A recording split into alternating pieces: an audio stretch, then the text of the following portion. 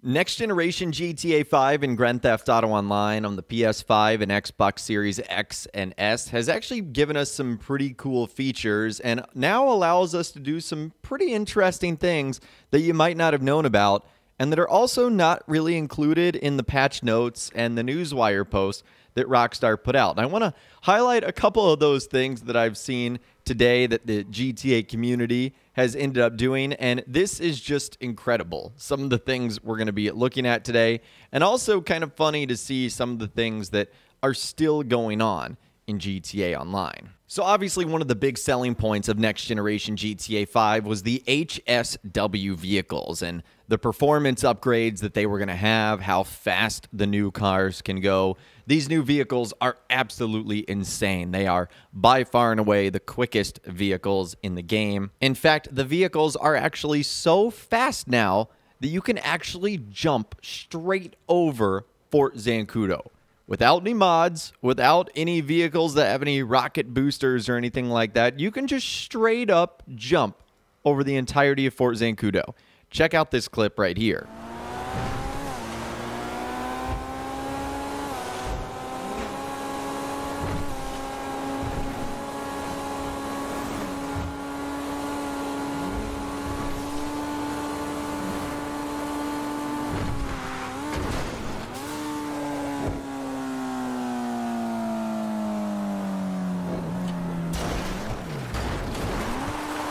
I thought as he was getting closer and closer, he wasn't going to end up making it. And that was with the Karin S95. I'm sure you could even try it with a handful of the other cars, like the Coil Cyclone 2.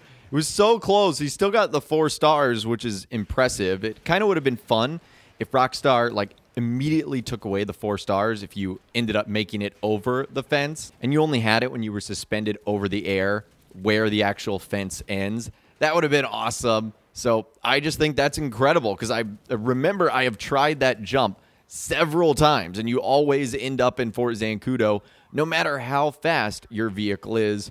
So I thought that was pretty cool. Another thing that's kind of interesting since we now have 60 FPS on the consoles, one thing that it's actually done something pretty strange to is the Patriot tire smoke. Take a look at these two clips right here and you'll see what I'm talking about.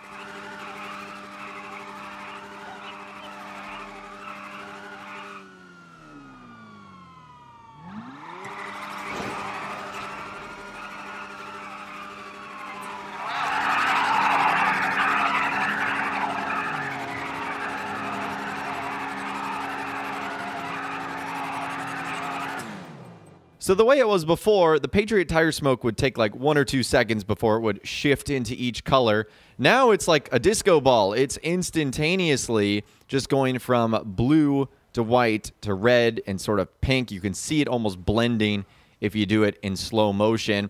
I don't know if this was intentional by Rockstar because they have made other intentional fixes by now having the consoles at 60 FPS versus 30 FPS, which is obviously what they were before. It kind of makes me wonder what other little changes like this are stuck here in the game and we just don't know about it.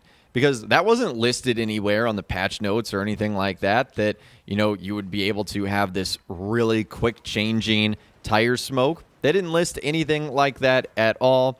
And it also makes you wonder if Rockstar are going to continue to fix some of the bugs and glitches associated with the PS5 version because there's a handful, specifically with the cars at Hao's Special Works Auto Shop and even just trying to get a vehicle into an agency.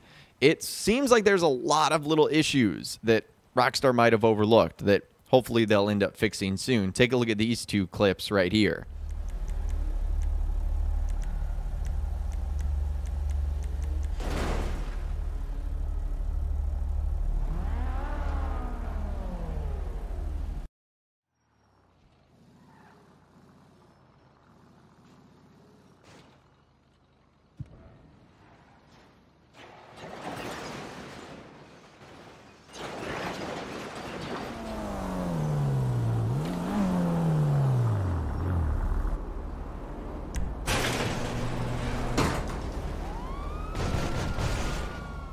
The one with the agency is hilarious just because he's trying to back it in, and then all of a sudden you're getting like flipped upside down.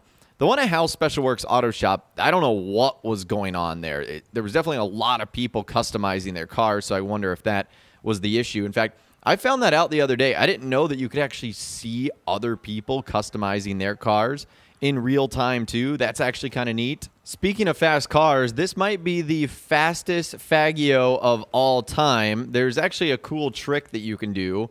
As a motorcycle club leader or road captain, you have the ability to lead a riding formation for each of the members. And the riding formation follows the speed of the leader. So if they end up using the fastest bike, then all the slower bikes will keep up. So in this clip that you're about to see, an HSW upgraded Hakuchou drag pulled one of the slowest bikes in the game, the Faggio mod. Take a look at this clip right here.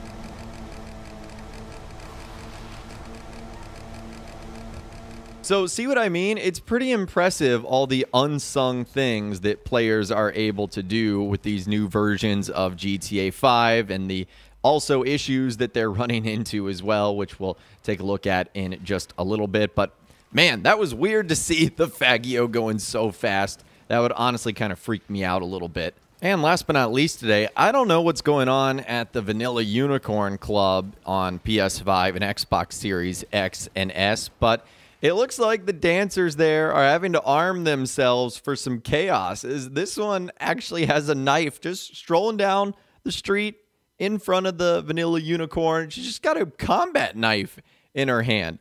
I thought that was wild and wasn't afraid to use it and then started going after one of the other dudes.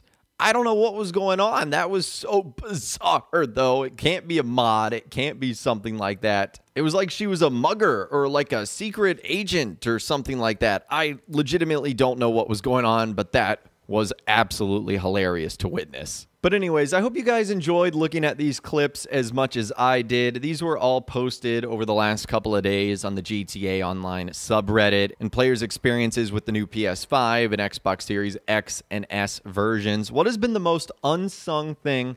that you've discovered you've been able to do on the new versions of GTA 5. Let me know in those comments down below. I'd love to hear from you guys down there, or you can reach out to me on my Facebook page where you can send photos, messages, videos, and a whole lot more. If you guys did go to enjoy this video, though, a like rating would, of course, be awesome. And be sure to subscribe to my YouTube channel if you are new. You want to stay up to date on all latest GTA and all the Rockstar Games videos that I'll be doing here on my channel. And be sure to ring that notification bell as well. Sometimes YouTube just doesn't work, and if you ring that bell, you'll always be guaranteed to be notified when new videos arrive. But of course, as always, guys, thank you all so much for watching. Take care, and I'll see you guys in the next video.